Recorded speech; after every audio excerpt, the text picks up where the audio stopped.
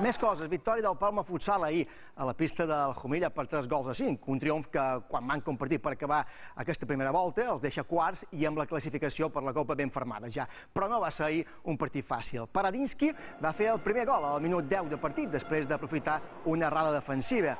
Però només un minut més tard empatava Abraham Sánchez pel Jumilla. Amb empat a un van arribar al descans. A la represa, Diego Fabero feia l'1-2, però tornava després a empatar a la Jumilla. Els darrers 5 minuts van ser del Palma. Atos va desfer l'empat i una altra vegada Paladinski feia el 2 a 4. A dos minuts del final, Abraham Sánchez va escurçar distàncies i ja al minut 40 Chicho va fer el 3 a 5 definitiu. Una darrera jugada, aquesta en què el jugador local, Lineker, es va lesionar.